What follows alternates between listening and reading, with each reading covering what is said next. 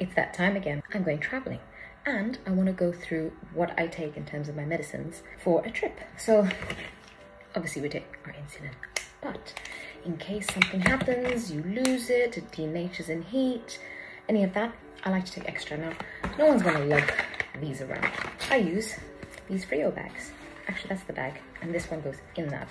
Now you can feel it, it's a little bit like grainy.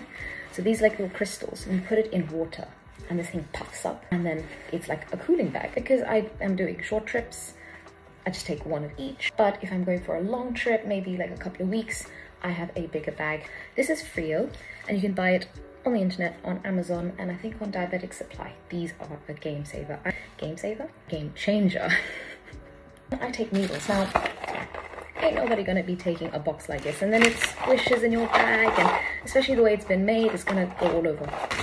Ziploc bag. To be honest, I don't use all of them, so I just keep it in the bag and I keep it in my hand luggage. Next time I travel, it's already there. I take an extra sensor. Got one here, but in case it gets knocked off, something could happen, so in case you don't have an extra, the trusty blood glucose checker. If you take extra, for some reason your suitcase goes missing, what are you gonna do?